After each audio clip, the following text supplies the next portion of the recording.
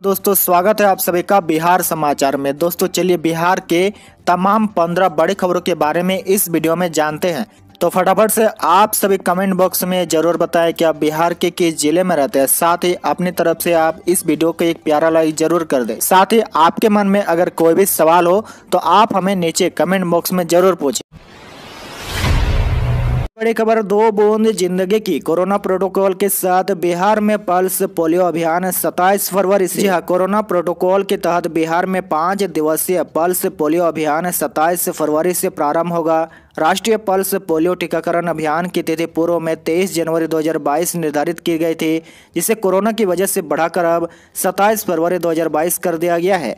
राज्य में कोरोना के बढ़ते प्रकोप से केंद्र सरकार को बिहार के स्वास्थ्य विभाग ने एक पत्र के माध्यम से अवगत कराया था कि अभी पल्स पोलियो टीकाकरण अभियान को चलाना जोखिम पर रहा हाँ बड़ी खबर, विरोध के बाद रेलवे ने एनटीपीसी और ग्रुप डी भर्ती परीक्षा पर लगाई रोक। शिकायतों की जाँच के लिए बनाई समिति। जी हाँ बड़ी खबर, परीक्षार्थियों को विरोध प्रदर्शन के बाद रेलवे ने एनटीपीसी और ग्रुप डी की परीक्षा स्थगित कर दी है। रेलवे ने प्रदर्शनकारी परीक्षार्थियों की शिकायत की जाँच के लिए एक समिति बनाई है। ये समिति विरोधी छात्रों की आपत्तियाँ सुनेगी और इन पर विचार करेगी। विचार करने के बाद अपनी रिपोर्ट रेल मंत्रालय को सौंपेगी। गौरतलब है कि रेलवे भर्ती बोर्ड ने नॉन टेक्निकल पॉपुलर कैटेगरी परीक्षा के रिज़ल्ट के खिलाफ अभ्यर्थी पिछले तीन दिन से विरोध प्रदर्शन कर रहे थे। ये विरोध तब और बढ़ गया जब रेलवे ने सोमवार को ग्रुप डी भर्ती में सीबीटी दो चरणों में लेने की घोषणा की। आपको बता दें कि बिहार और यूपी में दोनों परीक्षाओं के अभ्यर्थियों ने जमकर बवाल किया। स्टेशनों पर हंगामा और तोड़फोड़ की सड़कें जाम की। ट्रेन में भी आग लगा दी गई। इसके अलावा सोशल मीडिया पर भी अभ्यर्थियों ने एनटीपीसी रिज़ल्ट और ग्रुप डी के भर्ती में सीबीटी टू लेने के फैसले के खिलाफ आंदोलन चला रखा है। रेल मंत्री और पीएम मोदी को टैग करके लगातार ट्विटर पर hash tag no C B T two in group D. Hash tag R R B N T P C revise result दो। वहीं R R B N T P C के साथ tweet किए जा रहे हैं। अगली बड़ी खबर 28 जनवरी को बिहार बंद का ऐलान। छात्रों के समर्थन में छात्र संगठनों ने किया आह्वान। जी हाँ, छात्रों के समर्थन में अब छात्र संगठन सामने आए हैं। छात्र संगठनों ने आगामी 28 जनवरी को बिहार बंद का ऐलान किया है। छात्र संगठन आयसा एनोस ने बिहार बंद का आह्वान किया है। वहीं इससे पूर्व 26 जनवरी यानी आज गणतंत्र दिवस के अवसर पर तिरंगा मार्च निकाले जाने का भी ऐलान किया है। आरआरबी और एनटीपीसी की परीक्षा के रिज़ल्ट में धांधली के खिलाफ आयसा व नौजवान संगठन, इंकलाबी नौजवान सभा छात्र संगठन अब छात्रों के साथ खड़ा हो गया है। आंदोलनरत अभ्यर्थियों पर लाठीचार्ज, मुकदमा व गिरफ्तारी के खिलाफ छात्र युवा आंदोलन के समर्थन में छात्र संगठनों ने आगामी 28 जनवरी को बिहार बंद का आह्वान किया है। बड़ी खबर, बिहार में सरस्वती पूजा पर भी कोरोना का साया, घरों में पूजा, जुलूस पर भी रोक। जी हाँ बिहार में कोरोना पाबंदी की वजह से इस बार सरस्वती पूजा का आयोजन बड़े पैमाने पर नहीं होगा। डीजे नहीं बजेंगे और न ही जुलूस निकलेगा और लोग घर पर ही पूजा करेंगे। आपको बता दें कि बिहार में छह फरवरी तक पाबंदी बढ़ा दी गई है। डॉक्टर चंद्रशेखर सिंह द्वारा जारी आदेश में कहा गया है कि सभी धार्मिक स्थल श्रद्धालुओं और आम लोगों के लिए बंद रहेंगे। किसी भी प्रकार का आयोजन प्रशासन से अनुमति लेने के बाद ही होगी। डीजे और जुलूस पर भी रोक लगा दिया गया है। अगली बड़ी खबर, बिहार बोर्ड कक्षा ग्यारह में नामांकन की लास्ट डेट 30 जनवरी तक बढ़ी। जी हाँ बिहार विद्यालय परीक्षा समिति पटना ने इंटरमीडिएट परीक्षा 2021-23 के तहत कक्षा ग्यारहवीं में एडमिशन की आखिरी तारीख एक बार फिर से बढ़ा दी है। अब अभ्यर्थी 30 जनवरी 2022 तक अपना नामांकन करा सकते हैं। इससे पहले बिहार बोर्ड ने एडमिशन लेने से चूँकि अभ्यर्थियों के लिए 10 जनवरी तक आवेदन का मौका दिया था। इससे पहले बीएसबी इंटर एडमिशन की लास्ट डेट 27 दिसंबर 2021 थी।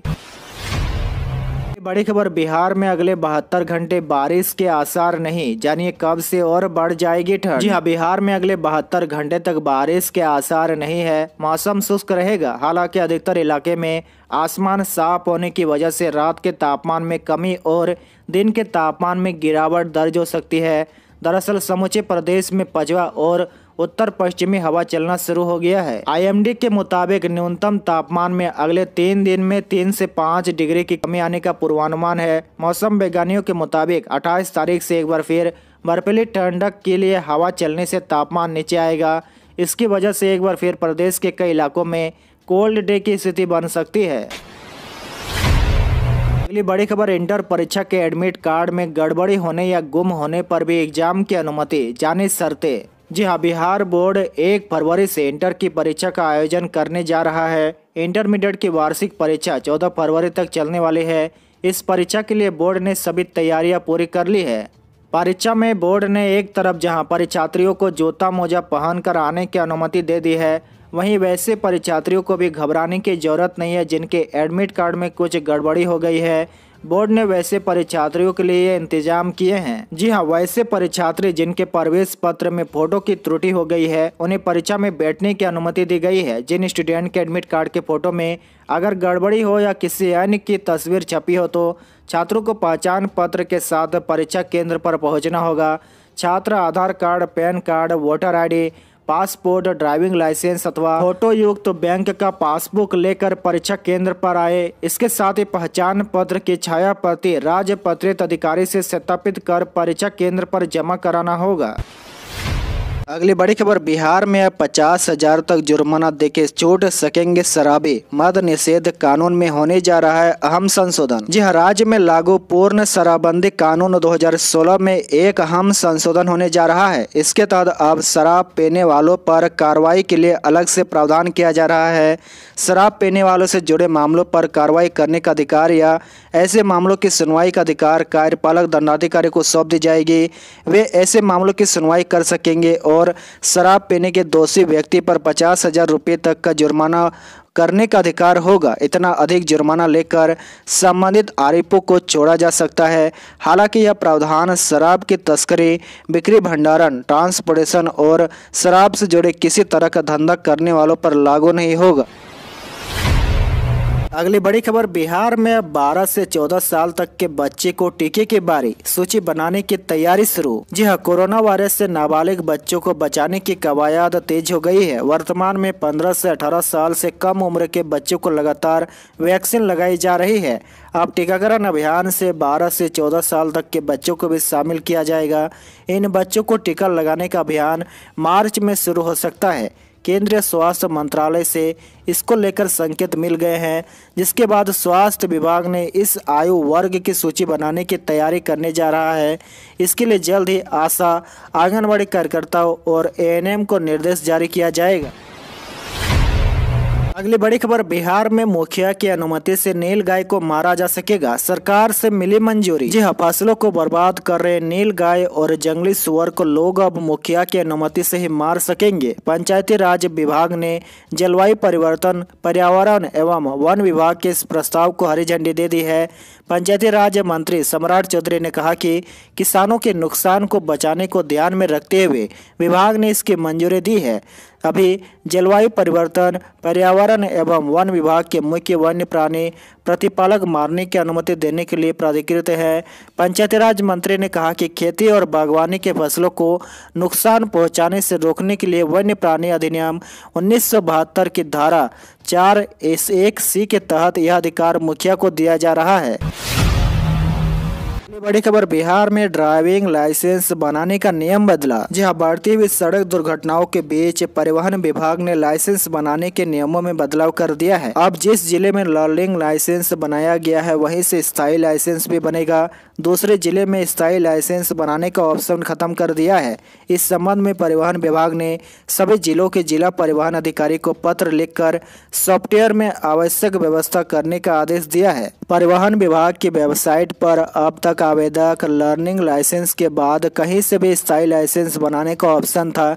इसके कारण जिन जिलों में ऑटोमेटिक ड्राइविंग टेस्ट अनिवार्य है, वहाँ से लर्निंग लाइसेंस बनाकर दूसरे जिलों में जाकर बिना टेस्ट दिए ही स्थायी लाइसेंस बना लेते थे। इससे वाहन चालक गाड़ी चलाना नहीं सीखते थे और दुर्घटनाग्रस्त हो जाते थे। अगली बड़ी खबर, बिहार पुलिस कांस्टेबल भर्ती की सात से बाईस फरवरी तक होने वाली शारीरिक दक्षता परीक्षा स्थगित। जी हाँ बिहार केंद्रीय चयन परिषद ने पुलिस कांस्टेबल भर्ती 2020 के लिए सात से बाईस फरवरी 2022 तक होने वाली शारीरिक दक्षता परीक्षा को स्थगित कर दिया है। इससे पहले यह परीक्षा 28 जनवरी को होनी थी, जिसे स्थगित कर कर 9 फरवरी से होने को प्रस्तावित किया गया था। अगली बड़ी खबर, अप्रैल से शुरू होगी बीपीएससी की लंबित परीक्षाएँ। अगले माह आएगा इकतीसवीं न्यायिक सेवा मुख्य परीक्षा का रिज़ल्ट। जी हाँ बीपीएससी अपने लंबित परीक्षाओं का आयोजन अप्रैल माह से शुरू करेगा। पिछले दिनों कोरोना की तीसरी लहर के कारण कई परीक्षाओं का आयोजन स्थगित करना पड़ा था। इसमें सड़सठवीं B P S C P T और सी पीटी परीक्षाएँ जैसे भी शामिल है। अब बीपीएससी पी टी जो फरवरी माह में आयोजित होने वाली थी, अप्रैल माह में ली जाएगी, जबकि सड़सठवीं संयुक्त प्रारंभिक प्रतियोगिता परीक्षा मई माह में आयोजित होने की संभावना है। अगली बड़ी खबर, बिहार में अब एक ही नंबर से बुक होगी सरकारी और प्राइवेट एंबुलेंस। किराया भी होगा फिक्स। जी हाँ बिहार में चल रहे सभी सरकारी एवं निजी एंबुलेंस को एक ही नंबर से जोड़ने की कोशिश तेज हो गई है। सभी सरकारी निजी एंबुलेंस को एक ही नंबर 102 से होगा, जिसे डायल करने पर पीड़ित तक सहायता पहुंचेगी। सड़क हादसों में हताहत की संख्या कम करने व त्वरित मदद करने के लिए यह निर्णय लिया गया है। परिवहन विभाग के निर्देश पर स्वास्थ्य विभाग ने इस दिशा में प्रक्रिया शुरू कर दी है। मार्च तक इस काम को पूरा करने का लक्ष्य रखा गया है। इसके अलावा एक ही आपातकालीन नंबर से जुड़ने के बाद सभी प्राइवेट एंबुलेंस का राज्य स्तर पर डेटाबेस हर ज़िले में स्वास्थ्य विभाग के पास रहेगा। इनकी सरकारी निगरानी तो होगी ही। एंबुलेंस का किराया भी तय किया जाएगा। इसके साथ ही राज्य में चल रहे सभी निजी एंबुलेंस चालकों को अब प्रशिक्षित पारा मेडिकल स्टाफ अनिवार्य रूप से रखना होगा। और अंत की बड़ी खबर, ट्रेन में सफ़र में आप देर रात तक गप्पे नहीं, फ़ोन पर भी तेज साउंड नहीं चला सकते हैं। रेलवे ने लागू कर दी है ऐसी व्यवस्था। जी हाँ यात्रियों के लिए यात्रा को और अधिक आरामदायक और सुखद बनाने के लिए भारतीय रेलवे ने नए नियमों का एक नया नियम बनाया है। अब भारतीय रेलवे द्वारा लाउड म्यूज़िक और लाउड फ़ोन पर बात करने पर प्रतिबंध लगाने की तैयारी में है। नए नियम के बाद जो यात्री तेज आवाज़ में बात करते या तेज संगीत बजाते हुए पकड़े जाएँगे, उनके साथ सख्ती से निपटा जाएगा। इस बारे में रेलवे बोर्ड ने सभी जोनल रेलवे के नाम एक चिट्ठी भेज दी है। आज के लिए आपका सवाल बताए कि बिहार इंटर और मैट्रिक परीक्षा में सीसीटीवी कैमरा लगाने का फैसला सही है या नहीं? इसका जवाब आप हमें नीचे कॉमेंट करके ज़रूर बताएँ।